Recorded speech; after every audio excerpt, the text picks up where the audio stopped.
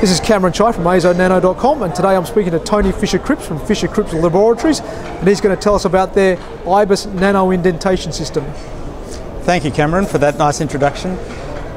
I'd like to talk to you a little bit about nano indentation today and uh, explain what the IBIS nano indentation system is and how it works.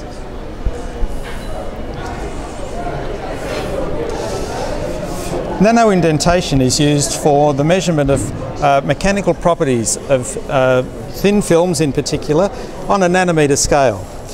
The instrument works by uh, measuring the force applied to an indenter and the indenter is usually made from diamond and that rests against the surface of the specimen.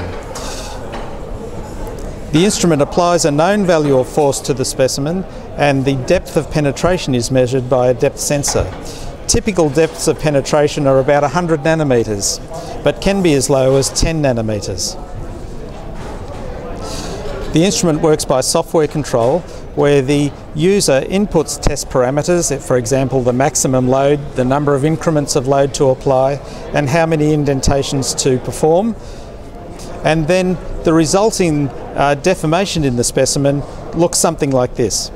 This is an impression made by a Berkovich triangular pyramid indenter into a sample of fused silica, which is a sort of a glass.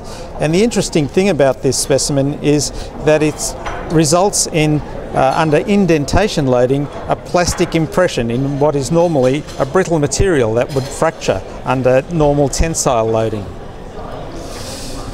After deformation, the instrument records, uh, well, during deformation, the instrument records the load applied to the indenter and the depth of penetration, and the data looks like uh, this.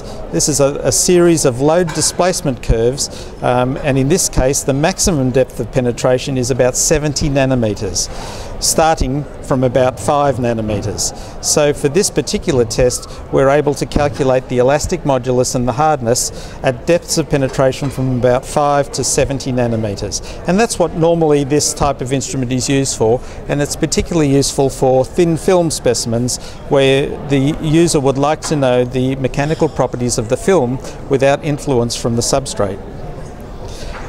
Another popular application of this sort of system is for scratch testing, particularly of thin film specimens.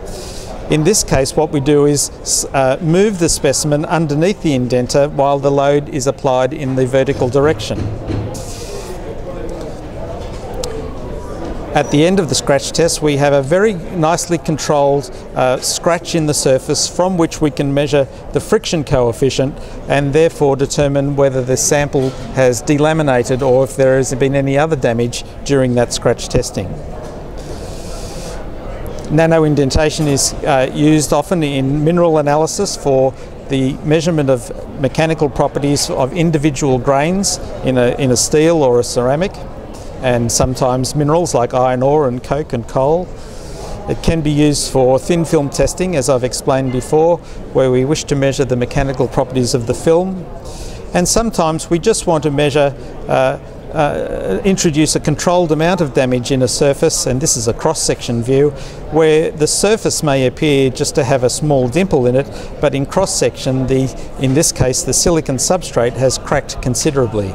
So this type of instrumentation can be used for uh, a very precise control of the load applied to um, micron to submicron sized uh, specimens.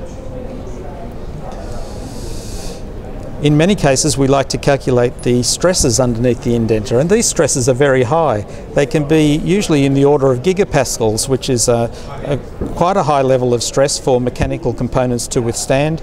And so the finite element method can be used to model the stress fields underneath the indentation.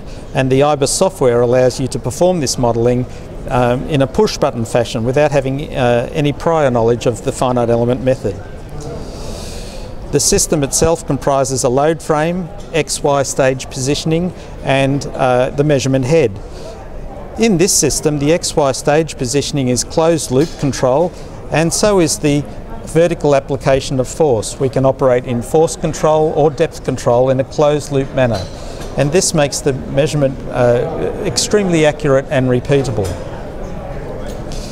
Typically the sample is put under the indenter with a small clearance working distance of about 100 microns and the indenter then comes down to make initial contact and then the test proceeds uh, applying up to maximum load in a number of load increments.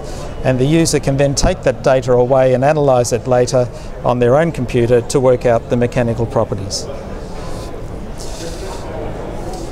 We sell this system all over the world and it's typically used by university research departments uh, and large-scale research organisations like uh, Ford and GMH, uh, people like Intel, those sort of people who are in the semiconductor industry, anywhere where there's uh, a need to measure the mechanical uh, deflection and properties of micron to submicron mechanical specimens. If you'd like to see our website at www.ibisonline.com.au, there's a free booklet there that you can download which gives you all the theoretical basis for the measurement technique and some practical applications. Thank you, Cameron, for this wonderful opportunity to present the, uh, the system to you.